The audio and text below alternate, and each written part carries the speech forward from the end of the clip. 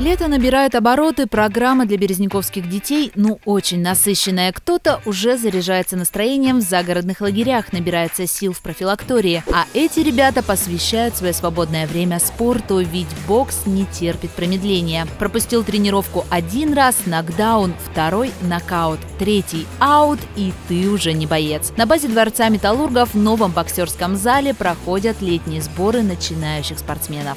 На летний период дети не должны быть предоставлены самим себе, то есть во время учебного года у них распланирован день. Летом родители продолжают многие работать, дети должны быть пристроены под присмотром.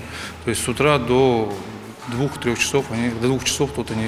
Так удар за ударом 70 юных спортсменов от 7 до 16 лет оттачивают свое мастерство в зале. Кстати, помогают направлять силу в нужное русло 4 тренера. Ребята разделены на 4 группы по возрасту и уровню подготовки. Для младшего состава активные игры, а вот ребята постарше преимущественно тренируются. Они занимаются и дополнительно, а также выезжают на боевые дни, где полученные навыки можно применить на практике.